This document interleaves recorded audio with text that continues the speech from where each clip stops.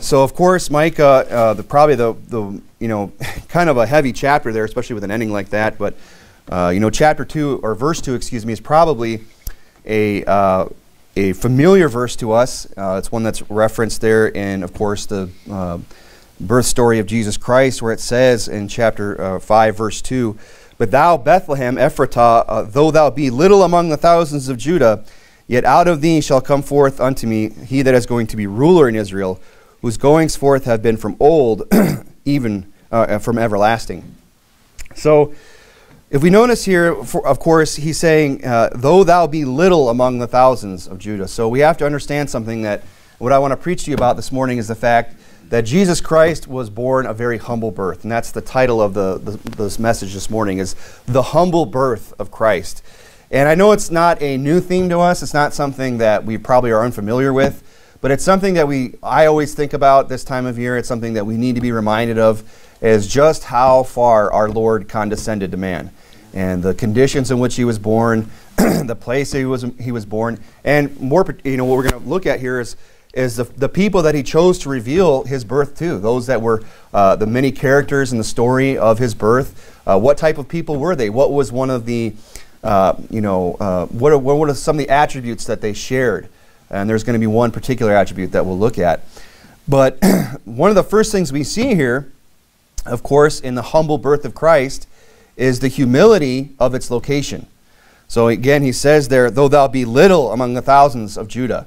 So this place, Bethlehem, this was not a prominent place. This wasn't a great big city. This wasn't uh, one of the destination cities that you would probably go to back then. This was a very humble place that he was born. Well, I mean, they say, well, it's, it's the Savior, it's the Lord. Well, doesn't it make more sense that he would be born in Jerusalem?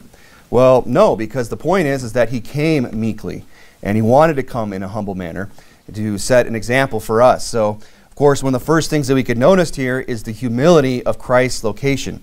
So it says Bethlehem was little among the thousands. Now, if you would, turn over to Luke chapter 2. Luke chapter 2. And we'll learn a little bit more about this, this humble location where Christ was born.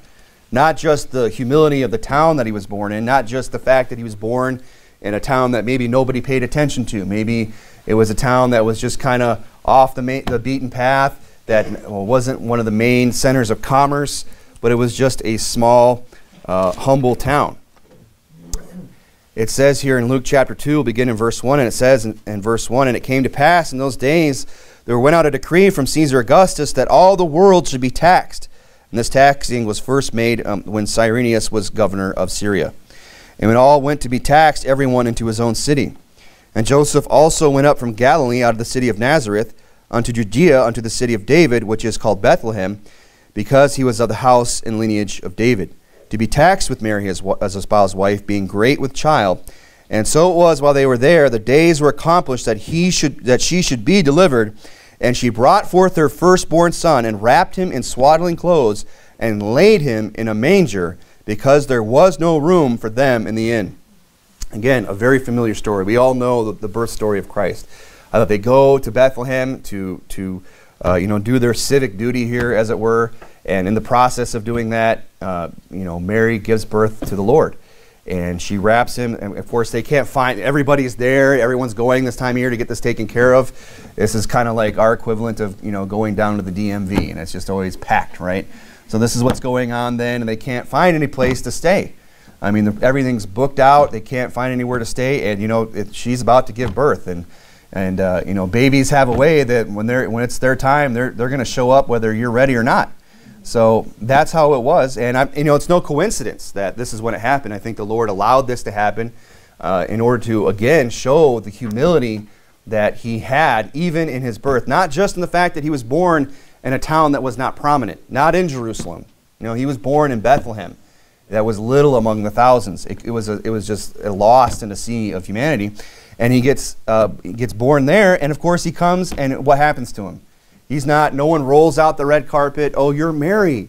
You're the mother of our Lord. You know, right this way. We've got a, you know, a special room for you. We've got everything cleaned up.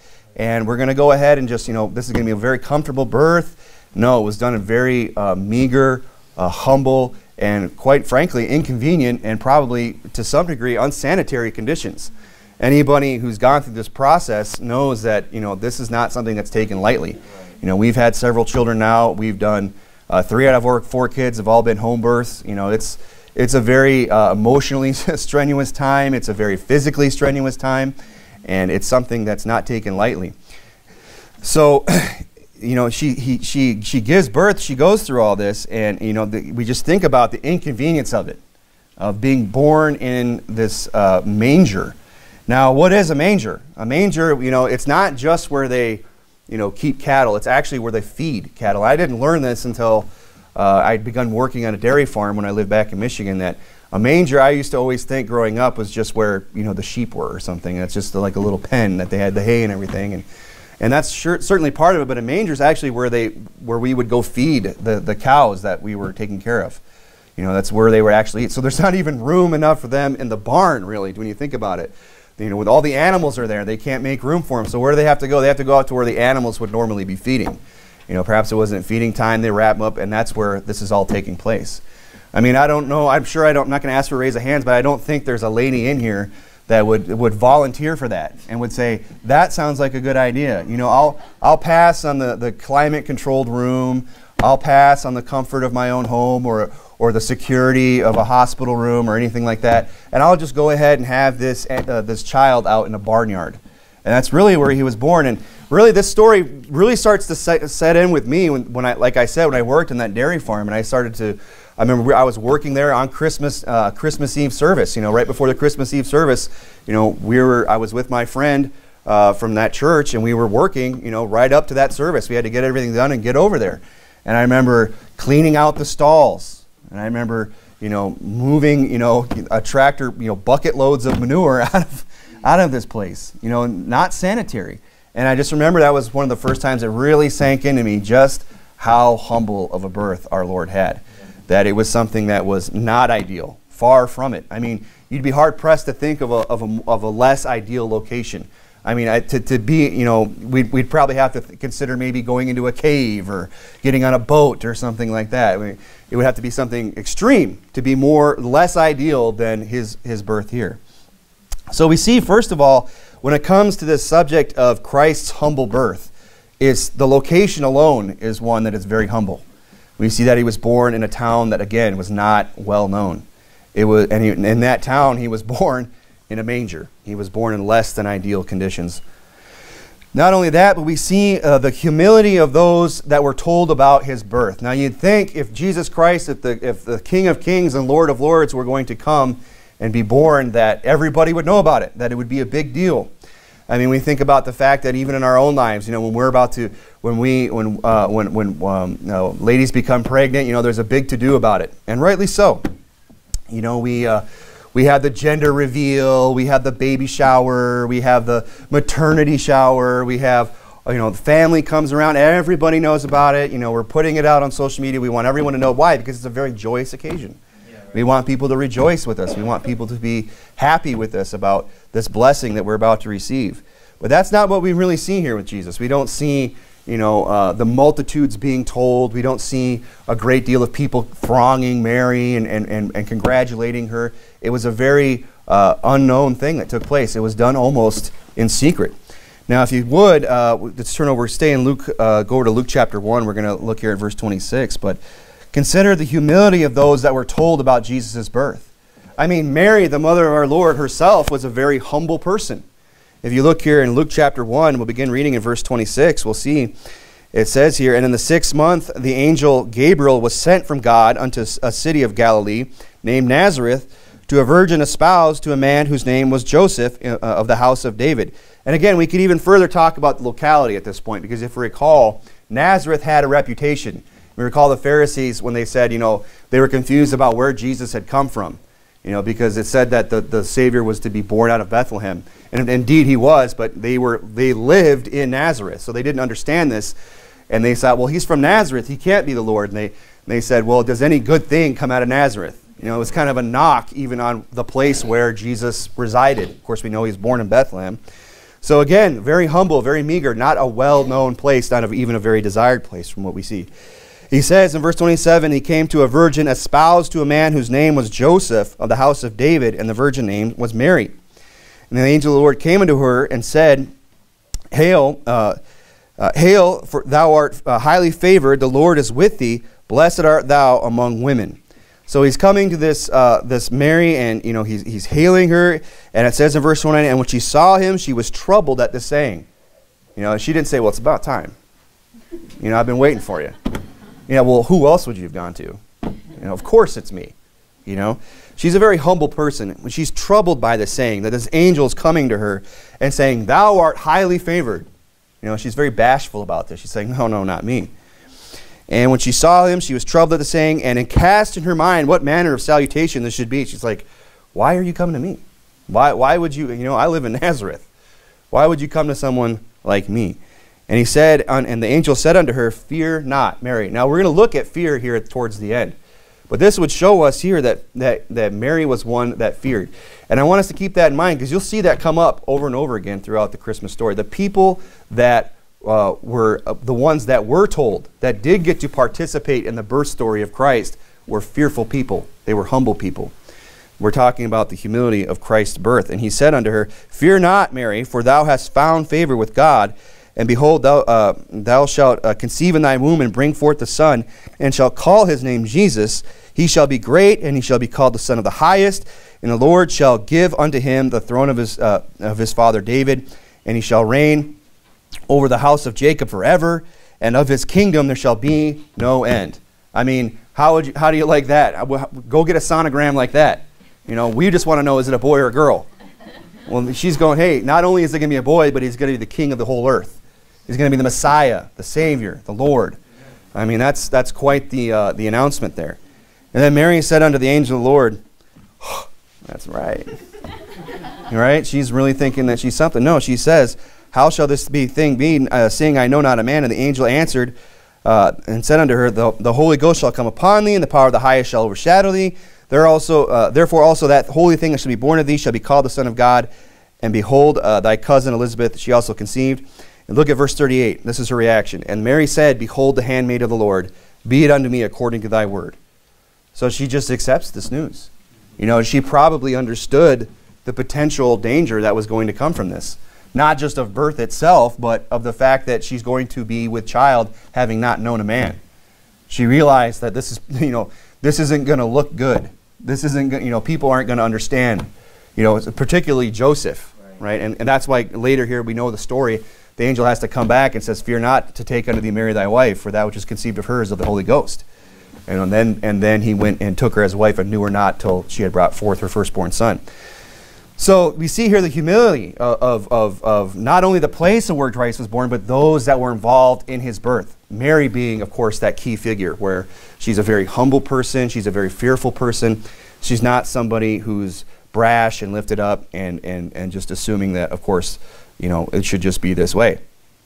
But also look at the people that, uh, sh that she shared the news with. Even the people that did have the privilege of hearing of this birth uh, who were they? What kind of people were they? Did she go into the metropolis of uh, you know Jerusalem and, and, and try to spread the news abroad that the Savior was coming and let everybody know uh, what a great uh, blessing was on their way? No, it says here in Luke chapter 1, uh, look again at verse 39. And Mary arose in those days and went into the hill country. You know, she goes, she's maybe a little bit of a redneck. You know, she's going out into the hill country. She's going to go get with some country folks. And that's who she goes to tell. And she goes there with haste into a city of Judah.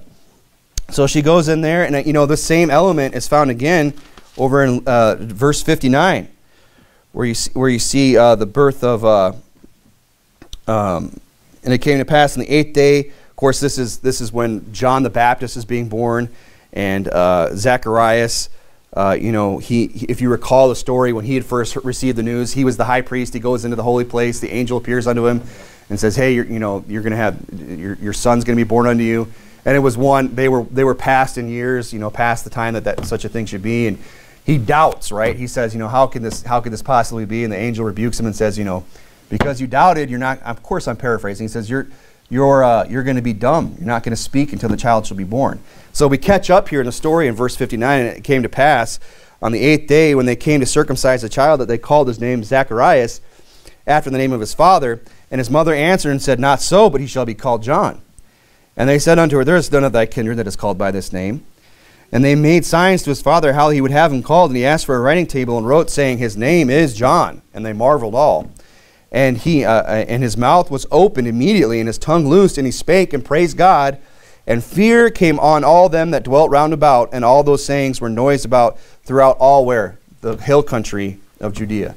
So it's these people that are just, you know, living out in these rural areas, just these humble country folks. It's not the big wigs, you know, down, in, you know, at City Hall. It's not the, the, the, the, the movers and shakers in Jerusalem.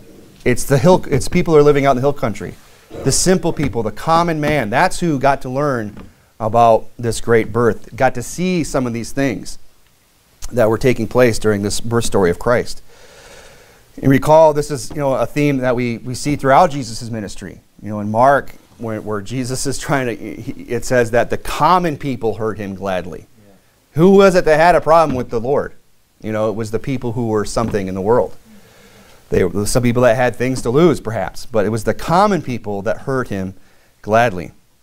One of my favorite characters in the birth story, of course, uh, you know, and it's a multitude of people, is the shepherds. You know, I asked my wife when I was writing this, I said, hey, if you could be anybody in the, uh, the, the birth story of Christ, you know, who would you be?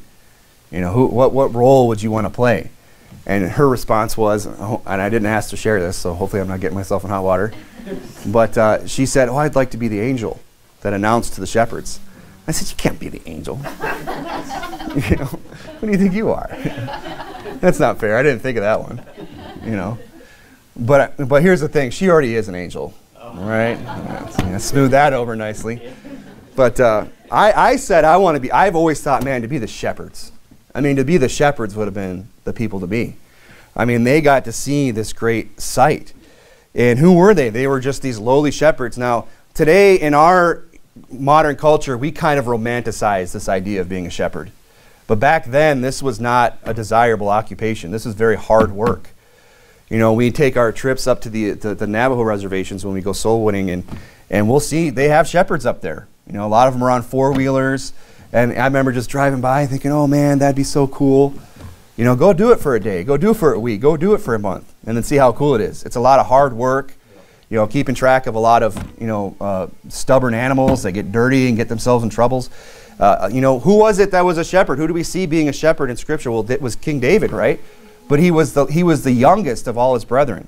You know, it's no coincidence. And what was the knock on him when he went down to to, to see how his brethren fared when they were you know going up against the Philistines?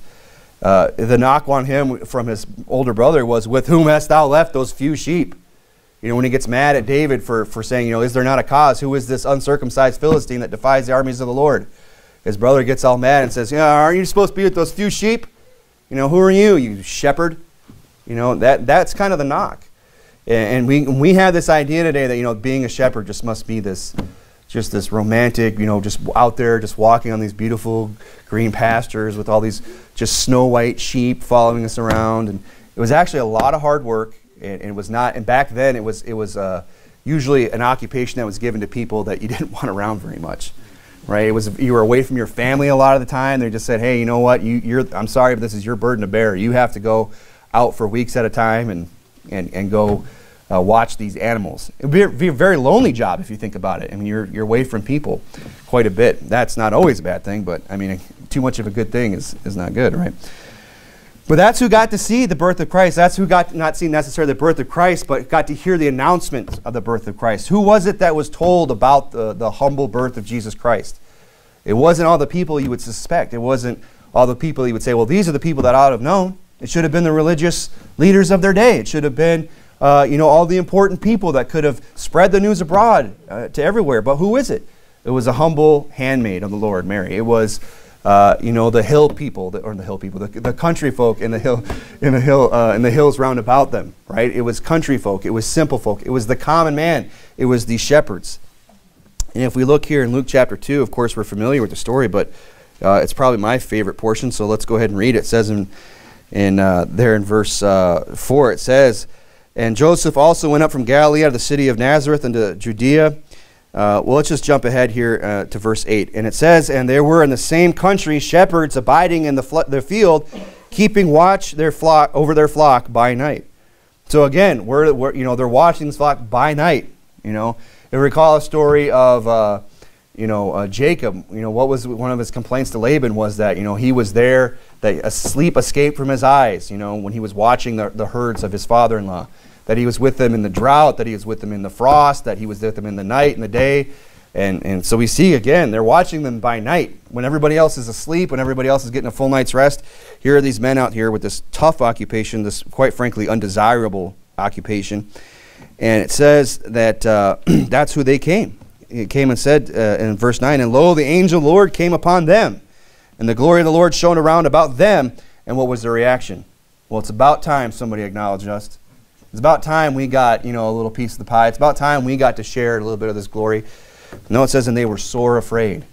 And it says, And the angel said unto them, Fear not, for behold, I bring you good tidings of great joy, which shall be to all people. For unto you is born this day in the city of David a Savior, which is Christ the Lord. And this shall be the sign unto you. You shall find the babe wrapped in swaddling clothes, lying in a manger.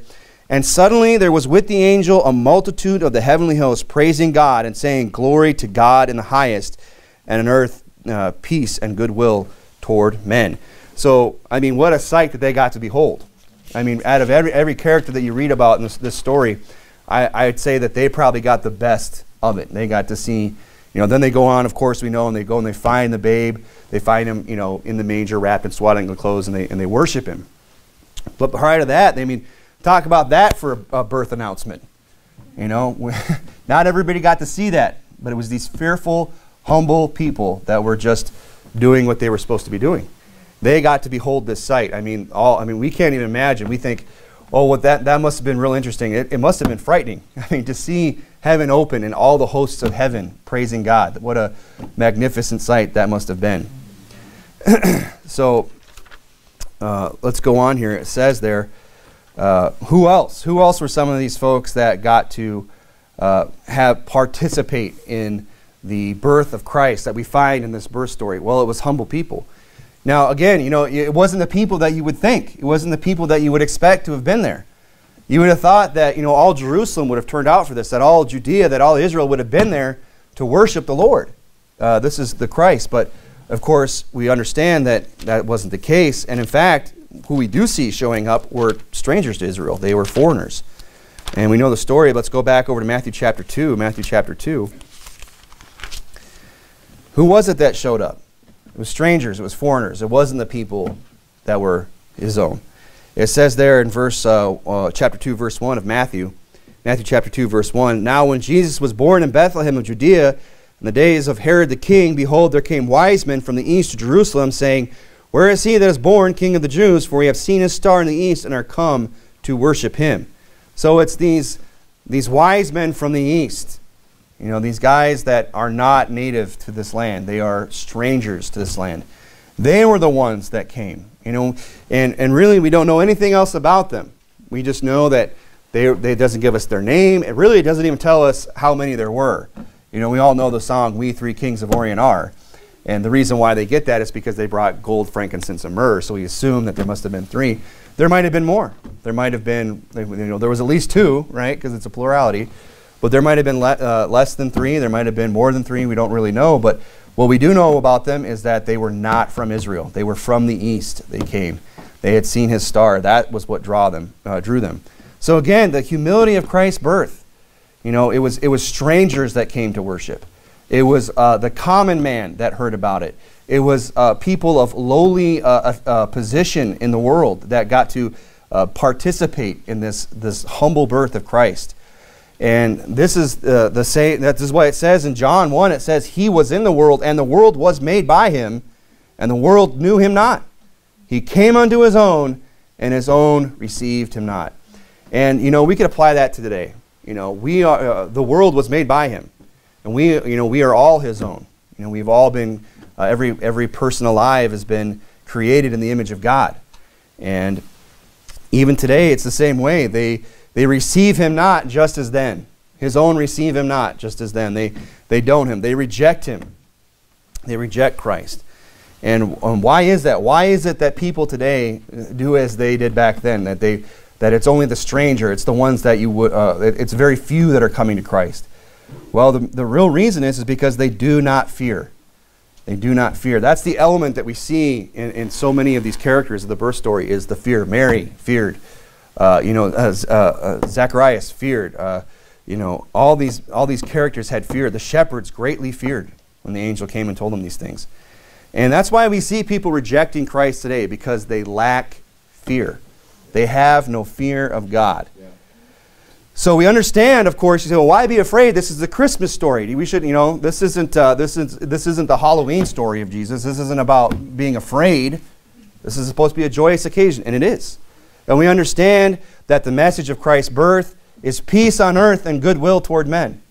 But if we really, uh, you know, I, have only recently kind of understood what it meant by that, is that we, we, we've heard that so often peace on earth and goodwill toward men. And I've always kind of misunderstood that, thinking, well, that means, you know, goodwill towards me and you. That you and I are going to have goodwill toward men, meet between you and I.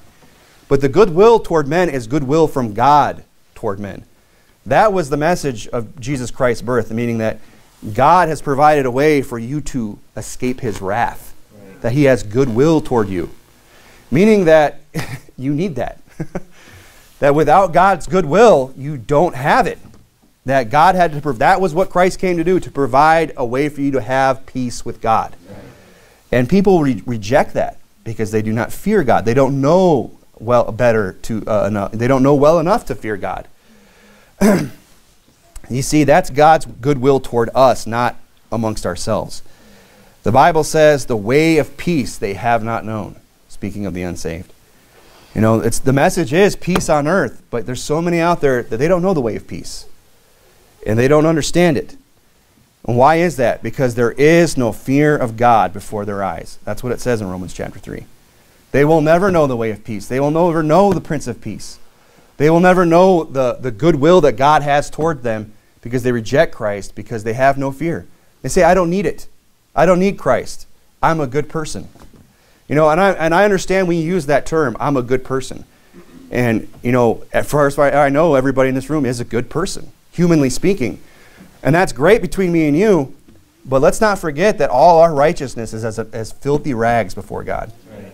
That Bible says there is none good, no, not one. Right. Because the standard to go to heaven is not the one that you and I determine, it's what He determines. Which is why the Bible says, For all have sinned and come short of the glory of God. We've all fallen short, every single one of us. And the Bible says the wages of sin is death. You know, and we understand that part of that death is an eternal punishment in the lake of fire, which is called the second death. You say, well, that sounds scary. It's supposed to be. It's supposed to frighten you. It's supposed to scare you towards a loving Savior who has come and, and was born a humble birth, lived a humble life, and died a humiliating death, right. and was rose again. so, just as back then he was rejected of his own, even today people reject him too. They refuse to fear God. They don't understand uh, the, hum- uh, the humility of Christ's life. We need to understand that. That's really what I wanted to kind of drive in on this Christmas message is the fact that, you know, Christ lived a very humble life. You know, and he did that to an example as an example for us. The humility of Christ's life from his birth all the way to his death. Uh, we need to understand that. We need to understand and when we begin to understand that, when we understand the humility that Christ had being come and, and, and not being proclaimed all the world for who he was, and only a handful of people even uh, knowing anything about him, people not, who did not have high stature in society, people who were just blessed enough by God to be able to, to participate in this birth story. We need to understand that the humility there. When we begin to understand that, that he was born in a, in a, you know, a manger, the lowliness of his birth, when we understand that, then we'll begin to understand what an insult it is to God to reject him. Right. You know, if he, when he's sending his only begotten son down to this earth to, to not be, you know, lifted up and praised for who he is, to be born in a manger, to live the life that he lived, and to see, to see mankind reject him, I'm, that's an insult to God. Yep. I mean, I think about it with my own, if, my, if I did that for my own kid. You know, if I sent my son to die for you, you know, if you were in a, some burning building somewhere and I said, son, go pull that, that person out. And he runs in there and gets you out in the process dies, and you just didn't bother to thank me or shake my hand or just took it for granted, I'd be insulted.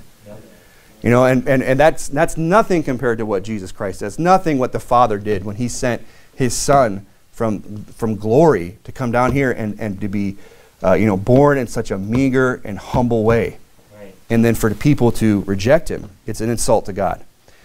the Bible says, and if, uh, well, I'll just read it to you from 2 Corinthians chapter 8. It says, For you know the grace of our Lord Jesus Christ, that though he was rich, yet for our sakes he became poor that ye through his poverty might be made rich.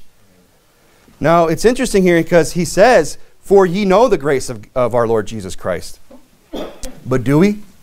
But do we really? I mean, Paul's assuming that about the these Corinthians. Of course, he, he knew them. He could probably say that with confidence. Hey, you know the grace of our Lord Jesus Christ. But I would ask us that question Do we know the grace of our Lord Jesus Christ? Do we understand just how far he came when he left heaven to be born here? Do we understand His grace?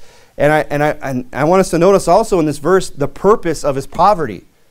You know, it wasn't just that he became poor just so that he could, you know, appear to be this humble person, and he was.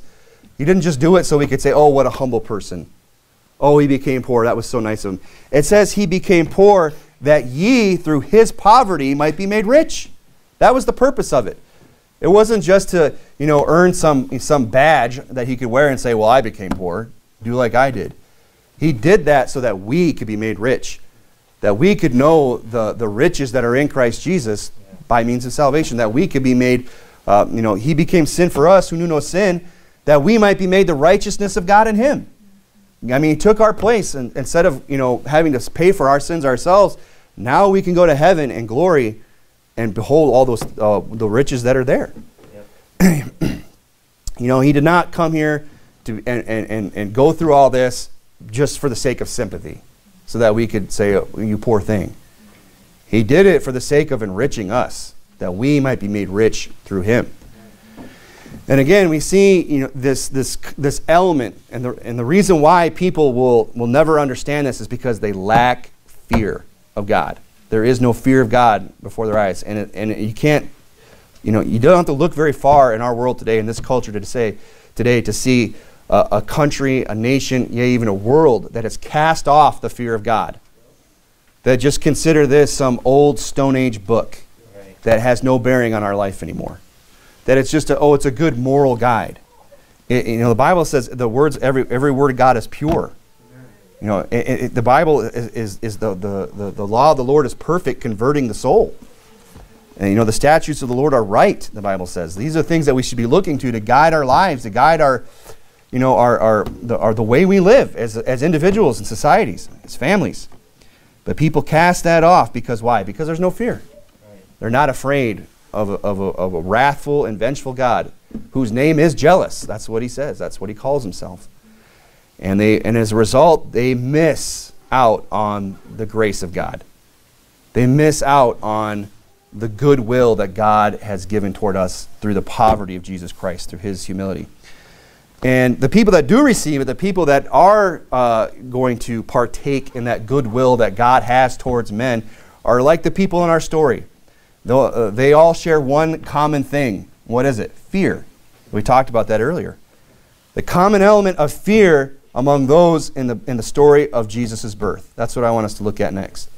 You know, we talked about Zacharias, how the Bible says fear fell upon him in Luke chapter 1.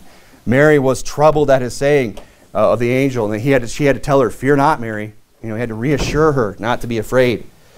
Those present at the birth of John, you know, they, they feared and they went and told all, all the folks in the, in the hill country. The shepherds were what? Sore afraid. This is a common element that we see in the birth story of Christ. uh, we could talk about, you know, uh, even, well, for sake of time, we'll move on here, but each of these people that we've mentioned here, and there are others we could talk about, each of these witnessed to some degree uh, the greatest birth, uh, the manifestation of God in the flesh. I mean, people, you know, they, they get all excited when, when a new baby comes into the world. You know, and they, especially if they're related or it's a friend or somebody they know. I mean, there's a lot of excitement. They, you know, they, they got to see the baby, right? Everyone's got to go see the baby. And everyone's always showing off the baby. And that's great. I'm all for that. Yep. But it pales in comparison to this birth. I mean, the Bible says God was manifest in the flesh. This wasn't just an, a good person, like, he wasn't just a good teacher, like the world likes to, to, to say of Jesus. Oh, he taught some good things. Oh, he was a, he, I, I, he was a good teacher. I think there's a lot we could learn from, from the man Jesus Christ. Well, that's true, but let's not forget the fact that the Bible says that it was God manifest in the flesh. The Bible says, Great is the mystery of godliness. You know, we, we can't even begin to wrap our he- heads around uh, what it would have been like to be in the presence of Christ on this earth in, his, in the flesh. That was what was taking place here. And each one of these people, they got to behold this to some degree, whether it was the angels, whether it was they came and worshiped him after he'd been born, uh, whether it was they just heard about it from a neighbor up in the, the rural parts of uh, Judea. They got to participate this, in, this, in this birth to some degree, and they all shared an element of fear, of just being humble, simple, common folks. That's who got to hear about the birth of Christ. And I believe that's because God would only allow humble, fearful people such a privilege. I mean, that is a privilege. Yeah. I mean, wouldn't you have liked to have been one of those shepherds there that night? Yeah. To behold that sight and to hear that great news of glad tidings of great joy, that, eh, of, eh, of, of peace on earth and goodwill toward men, and to be able to go and, and behold uh, the Lord Jesus Christ. I mean, it, it, we think about that story, and it, you know, we, we sing those songs, and quite often it, brings us to you know to the point of tears. I'm not saying I missed up on it completely, but you know. We get goosebumps. We think about this. And who is it that God allows to, to participate in such a, a magnificent event? It's humble people, it's fearful people, it's common people that get to take part in such a privilege. And again, this isn't a very long sermon because we all understand the, uh, the Christmas story. And there's just this one great truth that I want us to understand this morning is that if we want to see great things from God, we have to be humble people. We have to be fearful people. And it starts with salvation. If you want to be saved, you're going to have to admit, not by works of our, uh, not by our own works, but by His grace, He saved us. Amen. Not by our works of righteousness. You know, if we're counting on working our way into heaven this morning, you're going to come up short. Right. It's going to take some humility to get there. It's going to take some fear of, of understanding that you have to put all your trust in the Lord Jesus Christ. Yeah. Maybe we are, you know, and if we're saved this morning, hey, we want to do greater things from God. We want, to, we want God to speak to us from His Word. We want to open up the Bible and see and behold wondrous things out of Thy law. We want God to open our eyes. Is there any humility there? Is there any fear? It needs to be there. Otherwise, we're not going to see those things. Other God, otherwise, God will just keep those things from us and say, well, you know, it's a privilege to be able to behold these things out of the Word of God. And, you know, the application really is this. And if, if you would, let's turn over to Psalms chapter 25. We'll end there. because the birth of Christ, again, it was very humble, it was very meager, it was not announced to the whole world. It was something that only a, a small handful of people got to really under, even know or understand. And it was very common people you could say, in, in a way, it was kind of kept secret, wasn't it? I mean, could God not have known, made it known to the whole world that this was the Christ? Sure, He could have. I mean, He could have sent those angels down to Jerusalem, and He could have had them, you know, right over the temple. He could have showed everybody where that star was, not just those wise men from the east. He could have let the whole world know. But He kind of seems to me like He kept it secret.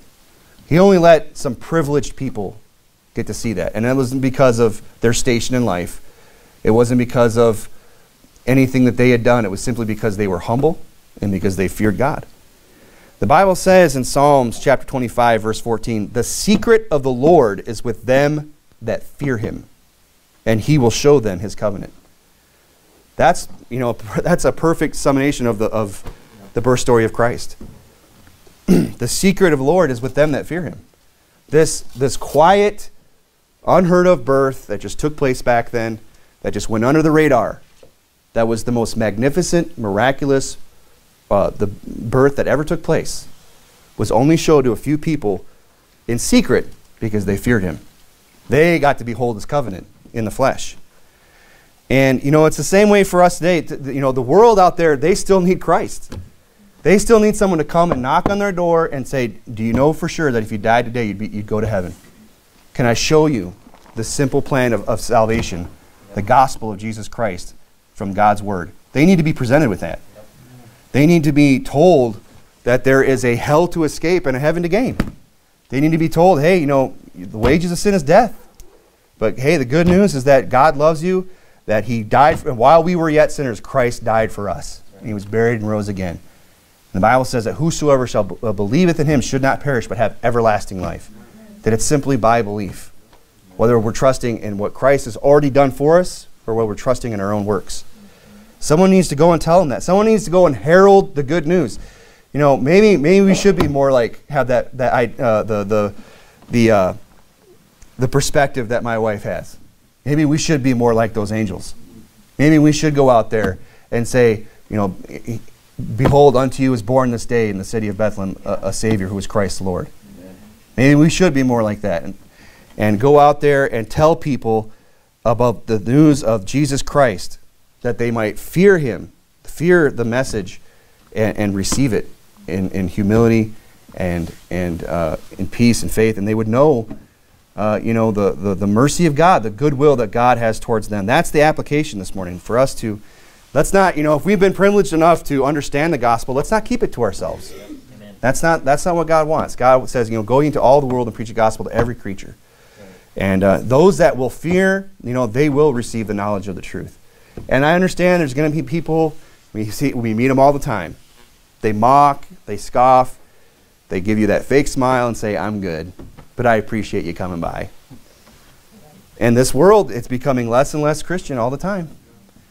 and they, and they, and, and they uh, you know, they're not, there's no fear of God anymore before their eyes. But that's not going to stop us from going out and sharing the good news of the gospel of Jesus Christ that you can be saved by grace through faith. Let's do that. You know, we're coming into another year. This church is over a year old. Uh, you know, we, we've done we've done great things. You know, we've knocked a lot of doors in the community here in Tucson. We've seen a lot of people pray and receive Christ as Savior. We've seen this church grow. I'm excited about you know uh, what what lies ahead for us, what, what this next year is going to be going to bring. But in every single one of us, there has to be this element of humility. If we want to do great things for God, we're going to have to be like these people in this birth story. We're going to have to be humble people and to allow God to use us and to show us these great things. Let's go ahead and pray.